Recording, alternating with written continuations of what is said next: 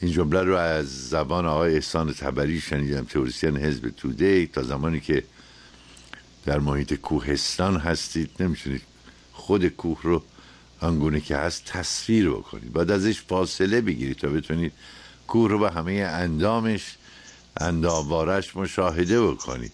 یه اصطلاح من از شهریار عدل ما می‌گیرم دکتر عدل که واقعا زحمات زیادی کشید برای ثبت میراث های فرهنگی و جهانی ایران خیلی تلاش کرد در یونسکو. همه با پول خودش با پول خودش. و به ویژه در دوره بعد از انقلاب نه دوره قبل از انقلاب. و خیلی از آثار رو در یونسکو به ثبت رسان از مدیران برجسته یونسکو بود دانشمند بزرگی بود.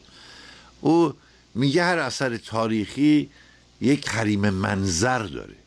یعنی کافی نیست شما یه اثر رو به ثبت برسونید. یا اطرافش رو. شما باید حریمش رو کاملا حریم منظرش رو به ثبت برسونید.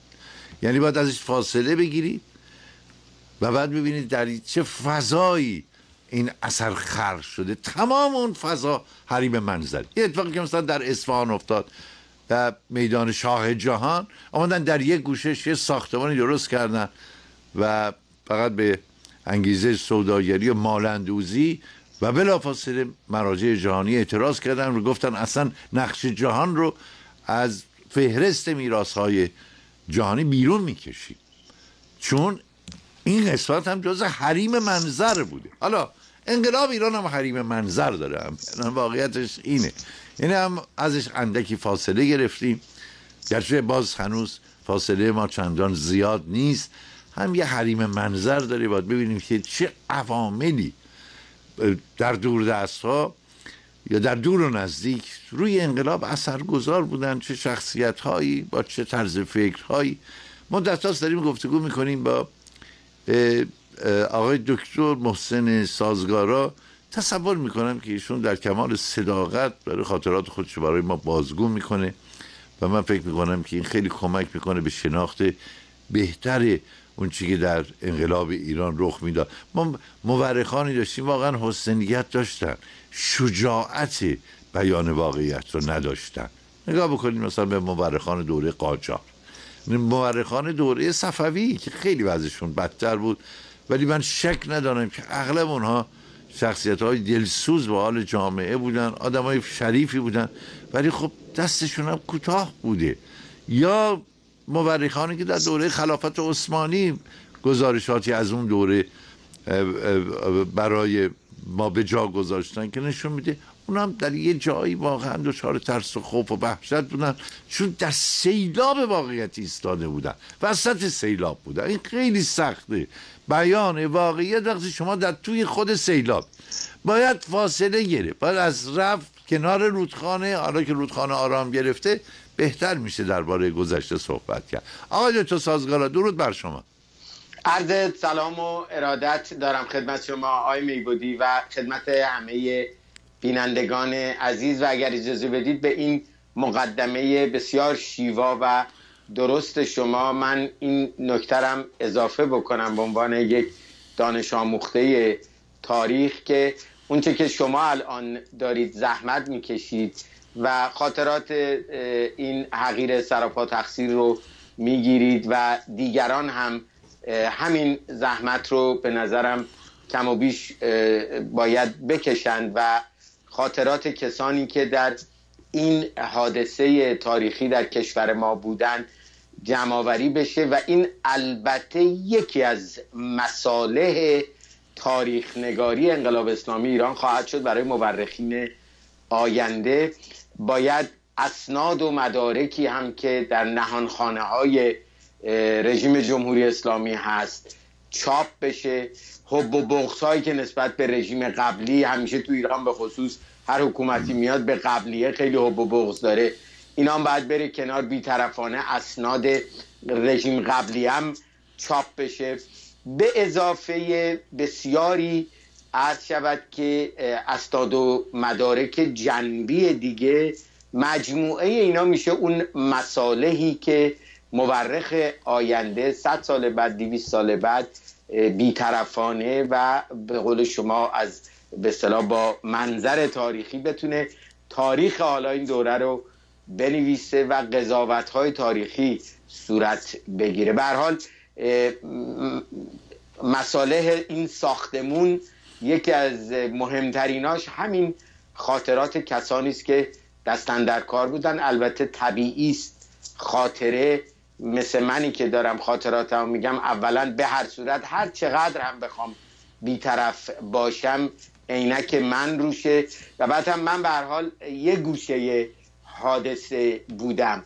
خیلی هم که تیزبین باشم از اون گوشه که ایستاده بودم یک نکاتی رو دیدم. باید نور به این صحنه از جاهای دیگه هم بتابه. دیگرانی هم از زوایای دیگه اون حادثه رو نگاه کردن حرفاشون رو بزنن. اون وقت به نظر من تصویر کاملی پیدا خواهد شد راجع به جز جزء حوادثی که در این سی و هشت نه سال بر سر مملکت رفته. به هر صورت اتفاقی است که بلاس تاریخی اهمیت خودش رو داره و فکرم می‌کنم در مملکت ما هم منشأ به شکل یک نقطه عطف منشأ پاره تغییرات جدی خواهد شد. از جمله به نظر من روحانیت شیعه بعد از 200 سال 300 سال شکل گرفتن به شکلی که امروزه در اومده از پشت انقلاب اسلامی اجبارا تغییرات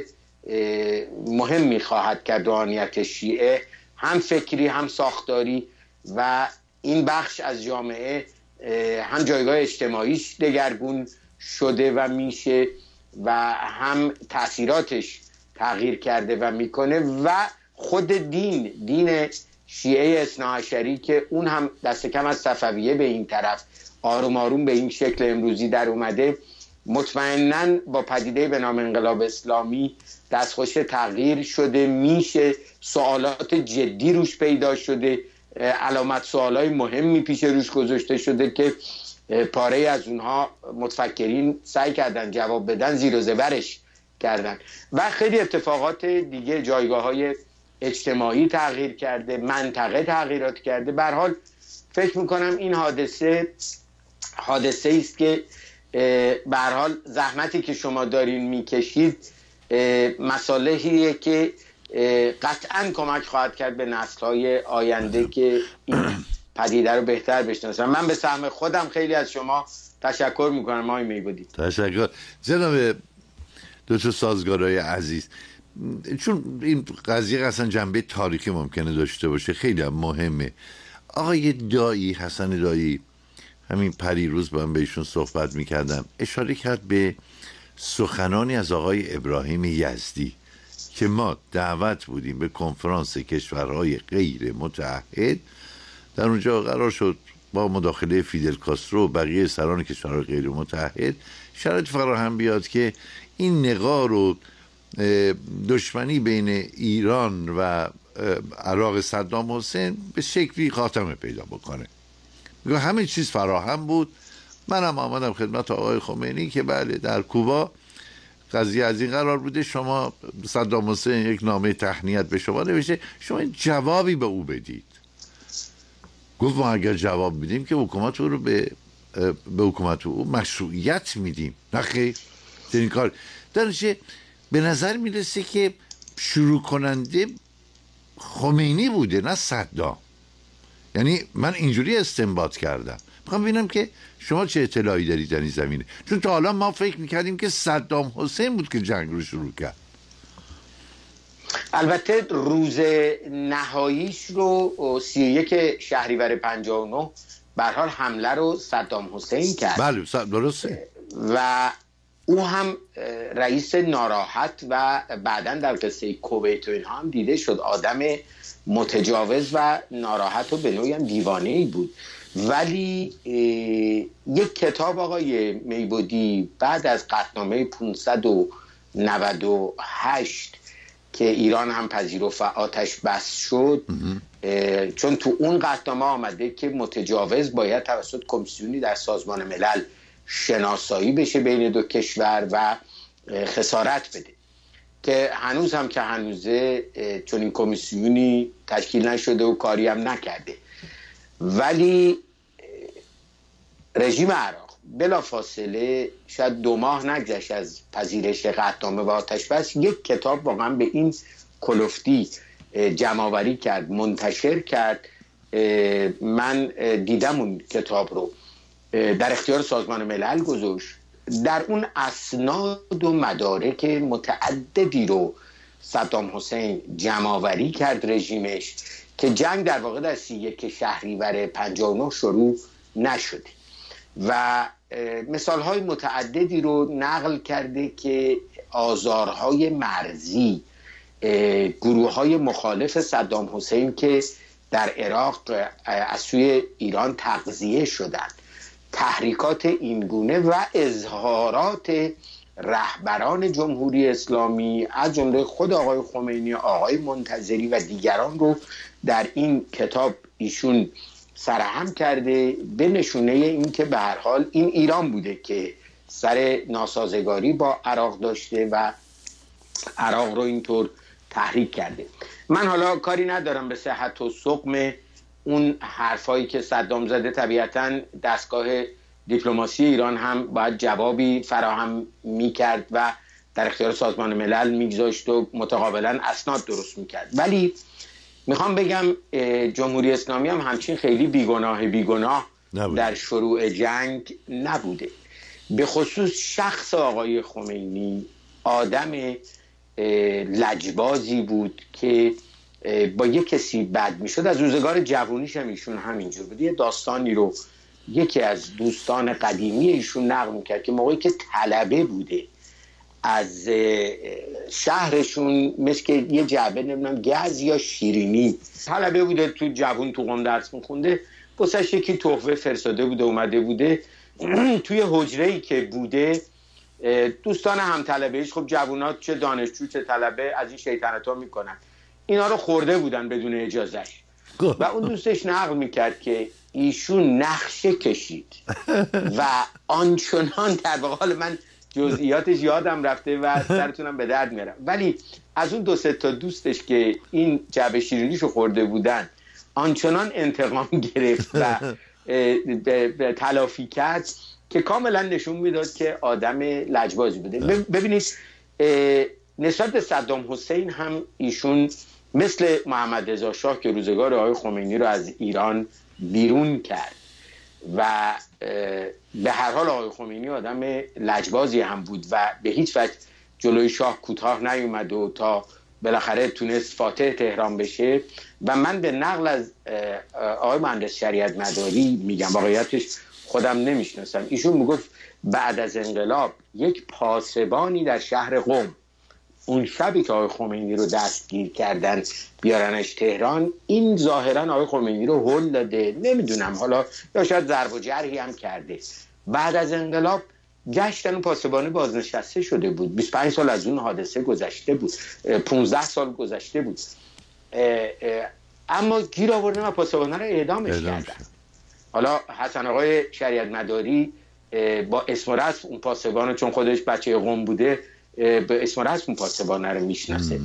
و در خصوص صدام حسین هم که بالاخره آقای خمینی رو اونجور محدود کرد و بعدم نهایتا از عراق بیرون کرد در چند ماه قبل از پیروزی انقلاب که اون سفر رو رفتن به پاریس و غیره به دنبالش اومد.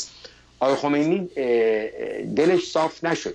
اجازه بدید من این سوال شما رو حالا آقای دکتر یزدی آدم دقیق و مرتبی است و الانم خاطراتش رو در چندین جلد منتشر داره می‌کنه که مجموعه شش جلد خواهد شد اظهارات ایشون رو به خاطراتش میشه رجوع کرد. ولی اضافه بر این من از یکی از دوستانمون اتفاقا در همین کالیفرنیای شما زندگی می‌کنه.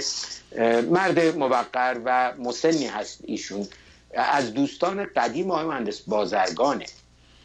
ایشون از قول مهندس بازرگان برای من نقل می‌کرد که موقعی که شورای انقلاب بودن و دیگه مهندس بازرگان بعد از گروگانگیری بود تقریبا حول و همین زمانی که ما داریم صحبت می‌کنیم در خاطرات رسیدیم. احتمالا دوربر همین تاریخی است که انتخابات ریاست جمهوری مثلا در ایران داره برگزار میشه یا کمی بعد از اونه. میگه منس بازرگان نقل می‌کنه که آقای دعایی که سفیر در عراق بود سراسیبه اومد تهران و به شورای انقلاب صحبت کرد. روز جمعه ای هم بود با آقای بهشتی صحبت کردیم که آقا صدام حسین بنده رو فرستاده تهران با پیام ویژه برای آقای خمینی. من از بازرگان میگه عصر جمعه مهندس آقای دکتر بهشتی به من زنگ زد و منم بلافاصله کفش و کلا کردم. رفتیم حرفای دعایی رو شنیدیم. و گفتیم خیلی خوب پیام برای آقای خمینی. فردا صبح بریم پیش آقای خمینی و دو تن از اعضای شورای انقلاب یعنی آقای دکتر بهشتی آقای مهندس بازرگان که فکر کنم تو مقطع آقای دکتر بهشتی اگر هنوز انتخابات ریاست جمهوری برگزار نشده باشه رئیس شورای انقلاب هم بود. این دو نفر مرد قدیمی و مشاور در واقع نزدیک آقای خمینی به اضافه سفیر کبیرش آقای دعایی که او هم از دوستان قدیم آقای خمینی بود میرن پیش آقای خمینی فردا روز بعد ظاهرا احمد آقا هم در جلسه بوده. البته از اون جمع الان فقط آقای دعایی زنده است. و من یک بار هم این رو نقل کردم و از آقای دعایی خواهش کردم که تا زنده هست این خاطره رو ایشون تایید یا تکذیب بکنه. به حال صحنه تاریخی مهمی است. در اون جلسه آقای دعایی میگه صدام حسین شخصا من سفیر رو صدا کرد. به غیر از اینکه قبل از اون بارها وزارت خارجه عراق منو احضار کرده و اعتراض کرده به تحرکات مرزی یا درگیری ها یا سایر اظهارات مقامات ایرانی میگه صدام شخصا منو صدا کرد و این پیغام و داده های خمینی من بیارم برای شما. سلام رسونده و گفته که شما من دیگه خسته شدم از این تحریکات و درگیری ها شما اگر دعوت می‌کنید من با کمال میل میام تهران بشینیم و حرف بزنیم. اگر نمی‌خواید من به این وسیله شما رو دعوت می‌کنم تشبیارید عراق بشینیم صحبت کنیم. اگر هم هیچ کدوم نمیپسندین کشور سالسی رو قرار بدیم هیئتی از طرف شما بیاد از عراق هم میان بشینیم و این اختلاف رو حلش بکنیم آقای بازرگان نقل می‌کنیم. دعای خمینی خوب که گوش کرد چون خیلی هم خوب گوش می‌کرد. حرف دعایی که تموم شد دستش هم تکون داد. من این عادت آقای خمینی رو منم دیده بودم. یه چیزی که به کامش خوش نمیومد ناراحت هم بود اخماشو می‌کرد تو هم دستشو اینطوری ایشون تکون می‌داد.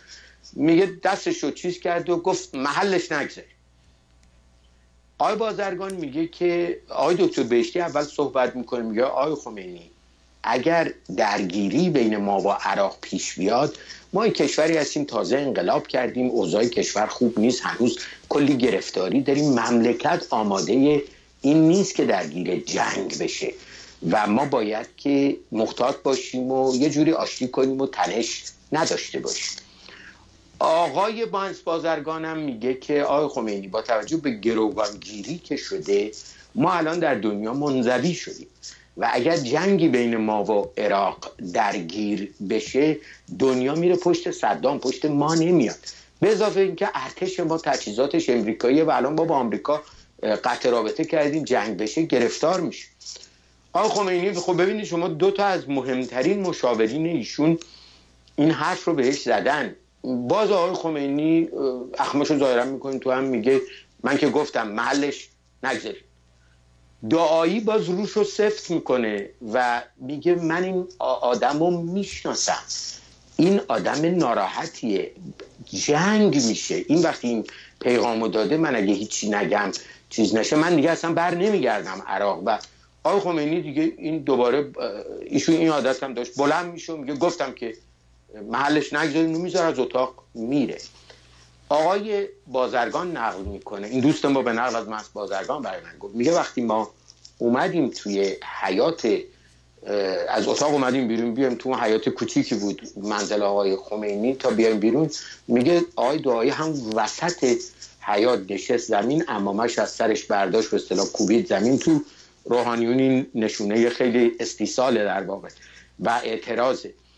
و شروع کرد زار زار گریه کردن. و گفت من این مرتیکه رو می‌شناسم. این به خدا حمله می‌کنه. جنگ میشه جوونا کشته میشه.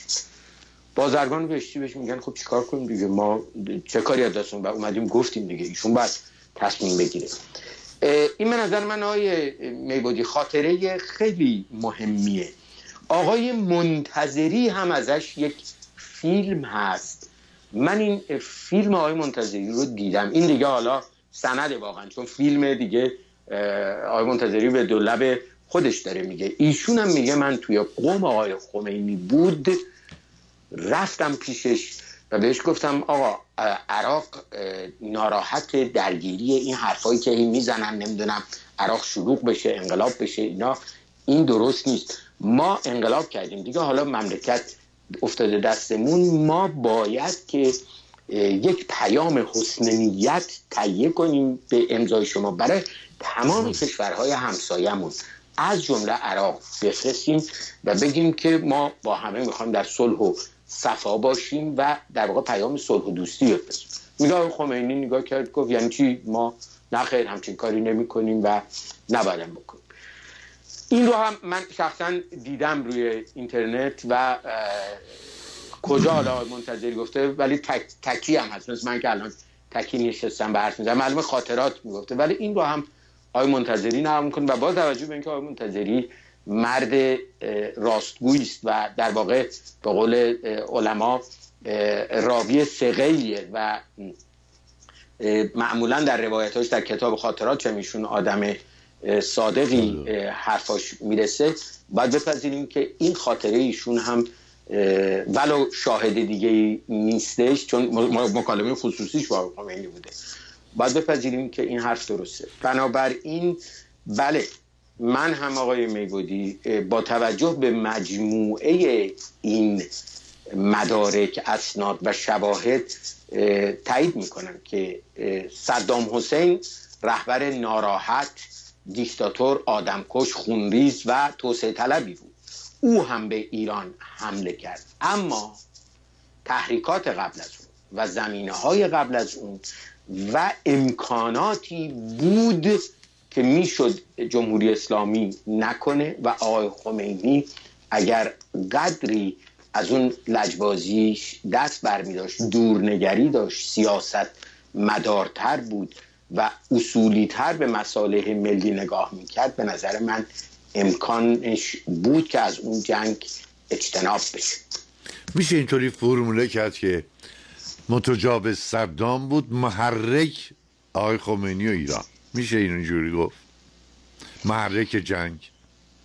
به هر حال اسناد و مدارکی که نه عراق منتشر کرده اسناد و مدارک دیگه هم از اوایل انقلاب هست که به هر حال انقلاب نوپای اسلامی تحریک می‌کرد. و خب عراق نه اینکه به لحاظ پیشینه تاریخی به لحاظ 60 درصد شیعیانش به لحاظ پیشینه درگیری با ایران چون در دوره شاه هم عراق شاید مهمترین دشمن ایران بود. حالا به هر حال با قرارداد خوب 1975 الجزایر یه نقطه اختتامی گذاشته شد. ولی باز هم تنش بین دو کشور بود. بنابراین به طور طبیعی انقلابیون تازه به قدرت رسیده چون همه انقلاب ها آقای میبودی این هوس در سر انقلابیون بوده که انقلابشون صادر کنن. و تصور این که این انقلاب یک حادثه عجیب غریب تاریخی است و یک پیچ تاریخی متولد شده تاریخ بشر رو قرار عوض کنه.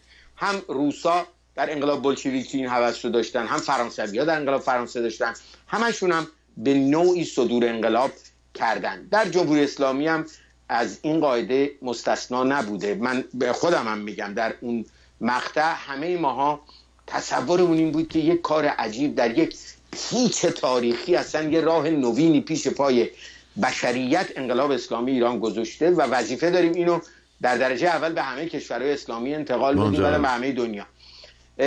و بدیهی است که وقتی یه همچین بادی توی دماغ انقلابیون باشه و یه همچین خیال خام و ناپخته در سرشون باشه عراق شاید اولین نقطم بود برای اینکه خب سابق همه جور سابقا با عراق بود. ضمن اینکه یک خانواده یه جمع بزرگی از رانده شده های عراقی 500 هزار نفر 600 هزار نفر هم از سالهای 52 سه که صدام بیرون کرده بود در ایران زندگی می‌کردن که خیلی هاشون هم روحانیون تراز اولی بودن که تو جمهوری اسلامی دستشون به بالاترین مقامات جمهوری اسلامی هم می‌رسید و پاره از اونا مثل آسد محمود هاشمی شاهرودی بعدا رئیس قوه قضاییه ایران شد. اون موقع رئیس مجلس اعلای انقلاب اسلامی عراق بود.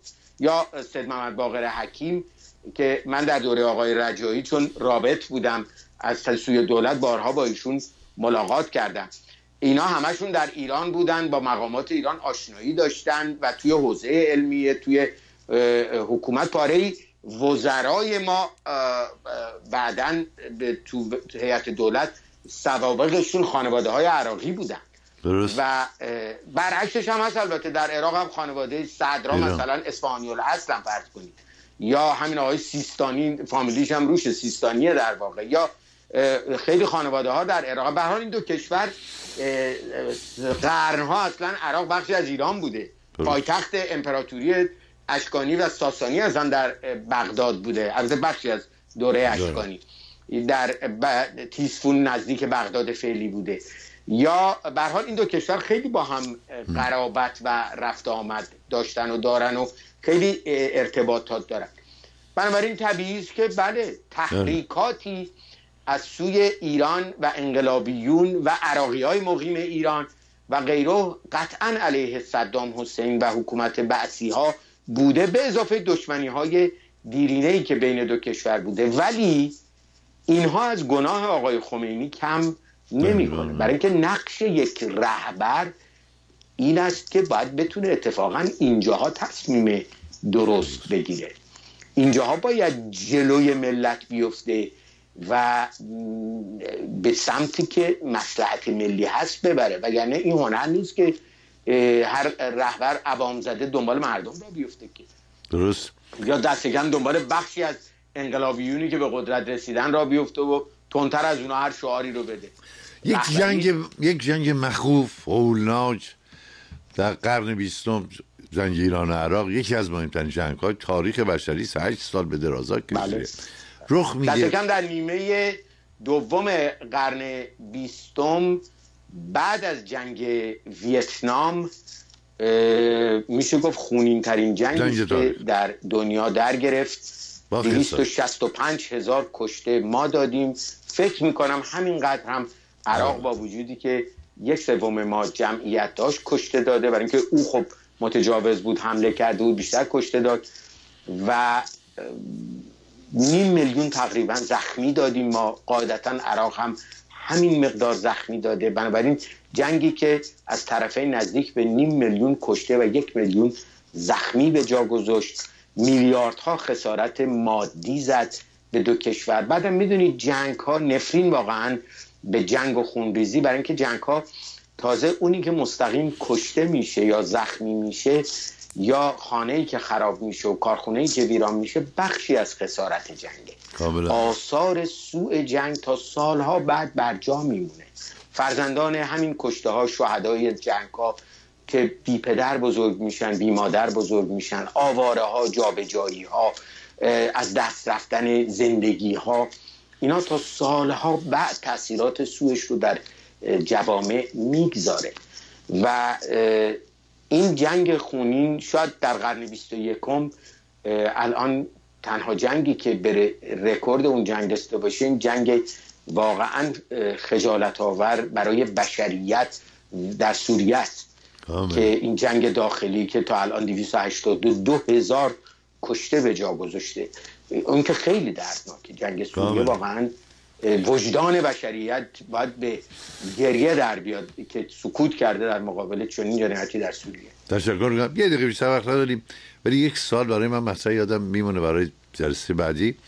اینکه ما یک فرمانده جنگ داشتیم که دانشجوی سابق بود یعنی آقای بنی یک فرمانده داشتیم که تلفنی دستور می‌داد آقای هاشمی رفسنجانی. یک فرمانده میدانی داشتیم محسن رضایی که یه آدم اگه نگیم زیر متوسط تقریبا متوسط آمی تحصیلاتی نداره سوابق نظامی نداره کاری نکرده. ولی در رأس یکی از مخوبترین جنگ های تاریخ بشر قرار می‌گیره. اینا یه بارگه از کجا پیدا میشن؟